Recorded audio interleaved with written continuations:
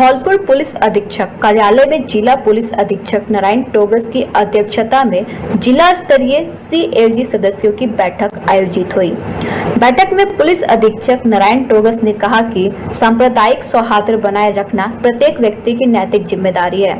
हमें हमारी संस्कृति को आगे बढ़ाते हुए भाईचारे के साथ रहना चाहिए। वह समाज सबसे अच्छा होता है जिसमें सांप्रदायिक सौहार्द बना रहे। उन्होंने कहा कि किसी भी धार्मिक यात्रा, जुलूस या किसी आयोजन के दौरान भड़काऊ भाषा, इशारे और अभद्र व्यवहार का प्रयोग नहीं होना चाहिए। साथ ही उन्होंने सीएलजी सदस्यों से संगीन लोगों पर नज़र रखने और इसकी सूचना पुलिस को देने एवं पुलिस प्रशासन व जनता के बीच प्रभावी समन्वय बनाए रखने की अपील की। इस दौरान जिला पुलिस अधीक्षक ने मौजूद सभी लोगों से पर्यावरण संरक्षण, यातायात व्यवस्था बनाने, सांप्रदायिक सद्भाव बनाए रखने, ध्वनि प्रदूषण रोकने, पुलिस का सहयोग करने, आपराधिक गतिविधियों के बारे में जानकारी देने, उपद्रव करने वालों की सूचना पुलिस को देने का आह्वान किया।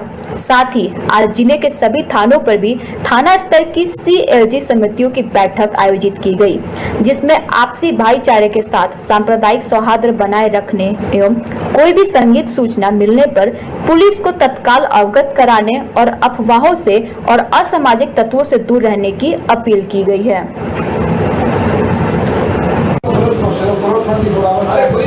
सदस्यों की मीटिंग ली गई शांति समिति के बुलाए गए। जिसमें लोगों से यही अपील की गई कि कोई सोशल मीडिया पर सामाजिक सौहार्द, धार्मिक सौहार्द बिगाड़ने की कोशिश नहीं करे। अगर इस तरह की कोई टिप्पणी करेगा उनके खिलाफ कानूनी कार्रवाई की जाएगी। बाकी जो भी अपने त्यौहार हैं, उनको दोनों समुदाय शांतिपूर्वक मिलकर बनाए सारे लोगों ने आश्वासन दिया है कि हम पहले भी भाईचारे से करते आए, आगे भी भाईचारे से करते रहेंगे। इसी तरह की कोई चीज़ें नहीं आएँगी, ना ही कोई सोशल मीडिया पर करेंगे।